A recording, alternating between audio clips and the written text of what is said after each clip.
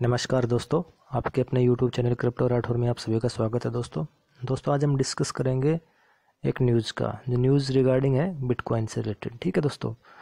तो अभी income tax department ने इंडिया में थर्टीन ऑफ़ दिसंबर को टोटल नाइन सिटीज़ में नाइन बिटकॉइन जो एक्सचेंज है, दिल्ली मुंबई, गुड़गावा, गोवा, कोची, बेंगलोर, अहमदाबाद, इन जगह पे छापा मारा है। ठीक है दोस्तों? जो ये जो छापा मारा है, वो सुप्रीम कोर्ट ऑफ़ इंडिया ने अभी थोड़े दिन पहले बोला था सेंटर को और आरबीआई को कि बिटकॉइन की जो करेंसी है, बिटकॉइन को रेगुलेट करने के बारे में क्या कदम उठाए जा रहे हैं? और इनकम टैक्स विभाग को इन्होंने आदेश जारी किया था। गवर्नमेंट ने फिर इनकम टैक्स को बोला है कि बिटकॉइन का जो रेट है काफ़ी इंक्रीज़ हो रहा है। इससे पहले कि काफ़ी लोग इसमें जुड़ें और इनकम टैक्स विभाग को यह बोला गया कि आप section one double three A के अंतर्गत आप छापा मारें और जो भी बिटकॉइन एक्सचेंज हैं, इंडिया में चल रही हैं एट प्रजेंट नाइन के आसपास हैं, और जितने भी इन्वेस्टर हैं ट्रेडर्स हैं, उनका जो ट्रांजैक्शन है, वो सब वेरीफाई करें और उनकी आइडेंटिटी हैं और उनके रिलेटेड बैंक अकाउंट हैं, उनको देखा जाए और वो आईटीआर फ़ाइल कर रहे हैं कि नहीं, इनकम टैक्स दे रहे हैं कि जो सिक्स मेजर सिटीज़ है, बेंगलुरु न्यू दिल्ली हैदराबाद, कोची, कर्नाटक कोलकाता एंड गुड़गावा। ठीक है? और इनकम टैक्स विभाग ने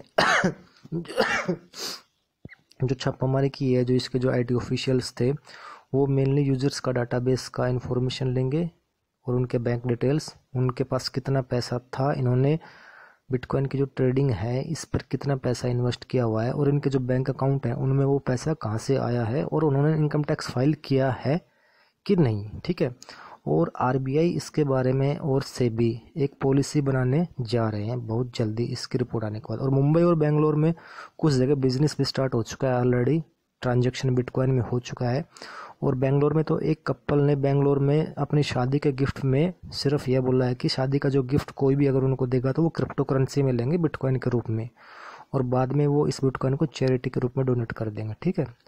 एक वीक पहले की बात है बेंगलोर में। एक कपल के द्वारा जो वेडिंग के जो गिफ्ट है वो क्रिप्टो करेंसी में मांगे गए थे, ठीक है? और बेंगलोर और मुंबई में काफ़ी रेस्टोरेंट्स में बिटकॉइन का प्रचलन भी ऑलरेडी स्टार्ट हो चुका है। तो इसका जो रेट बढ़ने के साथ साथ गवर्नमेंट यह चाह रही है कि इसके ऊपर एक बिल लेकर के आ जाए और इसका इलीगल यूज़ हो रहा है। साइबर क्रिमिनल्स में और रेंसवेयर जो अटैक हुआ था वायरस का, वो फिरौती के रूप में भी, इसको बिटकॉइन के रूप में मांग रहे थे फिरौती।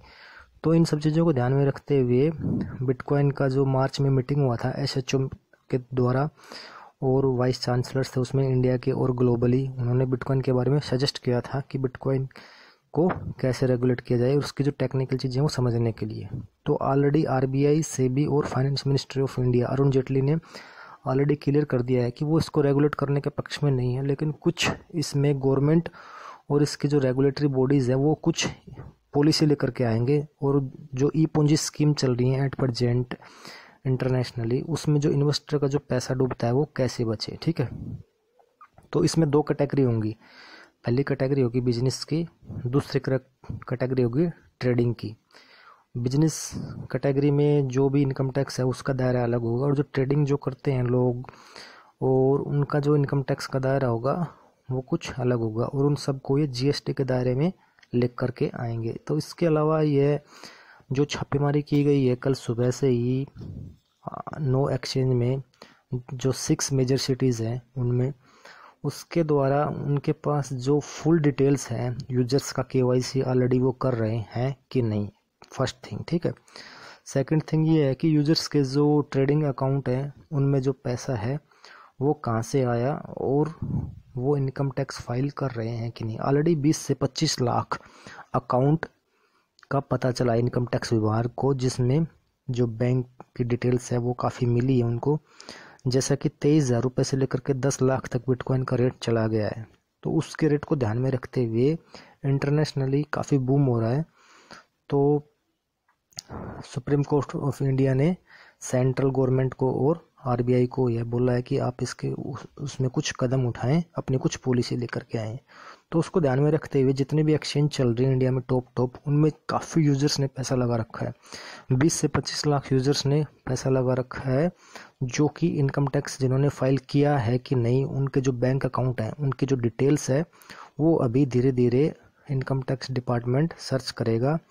उन्होंने इनकम टैक्स दिया है कि नहीं, और जो भी bank details K Y C उनका जो ट्रेडिंग हिस्ट्री कितना बाई सेल किया है, उस तरह से, और जो फ़ौरन से जो मनी आ रहा है बिटकॉइन के रूप में, उसको एक्सचेंज जो कर रहे हैं, उसके रूप में रेमिटेंस के रूप में तो हर तरफ़ से इनकम टैक्स विभाग को यह कार्रवाई करनी पड़ रही है, जो कि बहुत एक अच्छा कदम है तो इससे घबराने की ज़रूरत नहीं है। अगर आप बिटकॉइन की ट्रेडिंग करते हैं इन्वेस्ट करके प्रॉफिट करके बस आपको उसमें टैक्स देना है, ठीक है फ्रेंड्स तो उस चीज़ को आप ध्यान में रखते हुए सेफ़ ट्रेडिंग कीजिए और जो ई पूंजी स्कीम्स हैं, उनसे बच के रहें, ठीक है?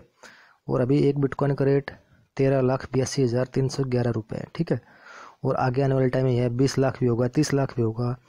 तो आगे फ्यूचर को ध्यान में रखते हुए गवर्नमेंट ऑफ़ इंडिया ने इसको रेगुलेट करने के लिए और इसके ऊपर क्या क्या इनकम टैक्स के रूल लगाए जाएँ इनकम टैक्स के दायरे में लाया जाए, से भी जीएसटी के दायरे में लाया जाए, उन सभी बातों को ध्यान में रखने के लिए ही जो कल की जो रेड पड़ी है, वो इसीलिए है और जो रिपोर्ट है income tax department, government of India को, आरबीआई को सौंपेगा। उसके बाद कुछ बिल लेकर के आएँगे ये। इसको जो भी आप ट्रेडिंग कर सकते हैं, बिज़नेस कर सकते हैं, उसके द्वारा जो भी चीज़ें होंगी आपको टाइम टू टाइम बता दी जाएँगे। अगर आपको यह जानकारी अच्छी लगे तो इस चैनल को आप लाइक कीजिए, शेयर कीजिए, सब्सक्राइब कीजिए, कमेंट कीजिए।